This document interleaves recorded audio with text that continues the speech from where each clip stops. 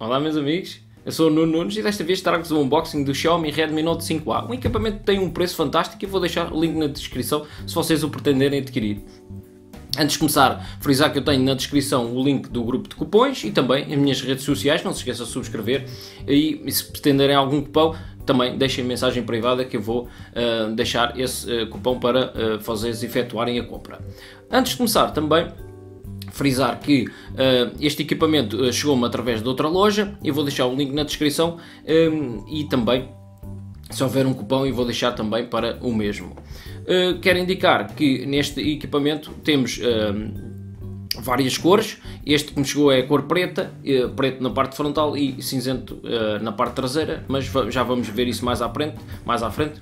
E este é um, tem, salvo erro, duas opções, o preto, ah, e também não esquecer que, salvo erro, também tem no a cor rosa, eh, eu, entretanto, se tiver essas opções, eu vou deixar na descrição. Bom, eh, vamos olhar eh, aqui as especificações e a parte exterior da caixa, antes de a abrir. Temos então aqui indicação de um ecrã de 5.5 HD, Uh, com proteção Gorilla Glass, aqui não sei qual é o Gorilla Glass, entretanto vou deixar na descrição. Tem uma câmera traseira de 13 megapixels com autofoco. O processador é o, Snapdragon 425, uh, depois tem 2 GB de RAM, 16 GB de memória interna. Ele é dual SIM, uh, dual standby, tem 4G, depois tem aqui uma bateria de 3080 mAh e também tem expansão de memória. A indicar também que este equipamento, salvo erro, já tem um Android 7, já, já vamos ver isso mais à frente, e a cor que me chegou uh, foi o Dark Grey. Ora, basicamente isto é o que temos de fora e também indicação de Global Version, é a versão global em que vocês têm uh, todas as linguagens, o português de Portugal e o português do Brasil. Ora, vou então cortar os plásticos. Ora, vocês já sabem que estas versões globais, vocês um, já têm todas as linguagens, já traz adaptador de corrente normal, não precisam de, de daquele adaptador uh, que incomoda um pouco, mas uh, funciona. Esta é mesmo a versão que vocês uh, podem utilizar logo à partida.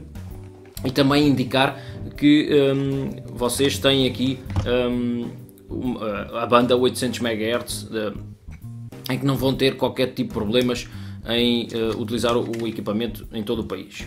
Bom, aqui temos então o equipamento, Ora, cá está ele. Xiaomi Redmi Note 5A, preto na parte frontal, uh, cinzento na parte traseira, já vamos ver mais à frente.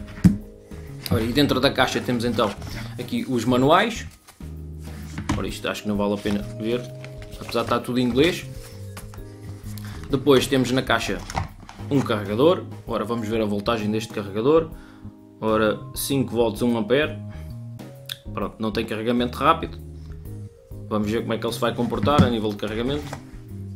Depois aqui temos o cabo sem ser eh, USB tipo C, já deveria ser USB tipo C, um equipamento de 2017 sem carregamento, uh, sem ligação USB tipo C, não tem muita lógica, mas pronto, são ideias da Xiaomi. Cá temos então aqui o micro USB. E depois, claro, dentro da caixa de, vem sempre o pinzinho para vocês abrirem as portas. Ora, vou colocar isto tudo de lado e vamos então ver o, o Redmi Note 5A. Vamos ligá-lo. Antes de tudo, vou já abrir aqui a porta para colocar os cartões SIM. Ora, isto como é novo custa sempre um pouco. E vamos ver como é que esta porta é.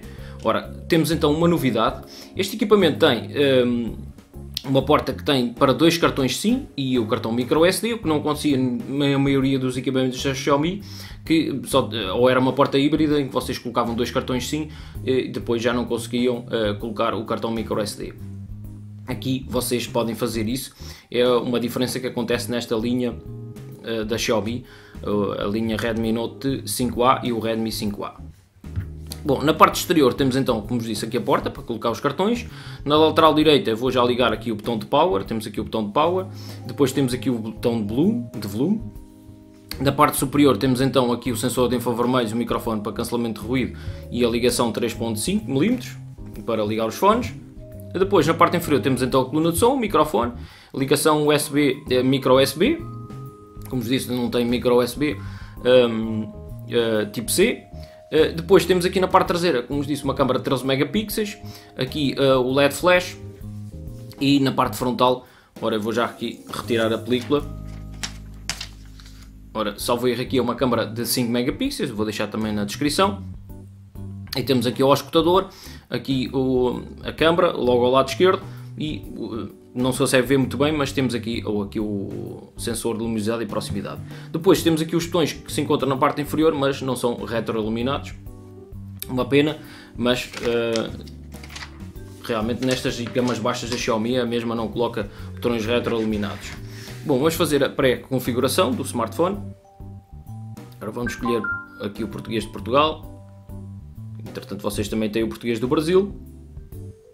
Agora vamos avançar. Localização também terá Portugal. Normalmente está aqui para a parte inferior. Agora, cá está. Português de Portugal e localização Portugal. Este equipamento vocês, como vos disse, podem logo começar a utilizar, não precisam mudar ROMs. Uh, pronto, eu vou, como vos disse, link na descrição se vocês pretenderem adquirir este equipamento e sem qualquer tipo de problemas e para uma utilização básica diária, redes sociais, não para jogos, mas para redes sociais. Basicamente, acho que é um bom equipamento, um equipamento fiável em que vocês não terão qualquer tipo de problemas. Bom, aqui vamos saltar esta parte da configuração, vamos avançar, vamos saltar este passo, vamos avançar, vamos avançar tudo.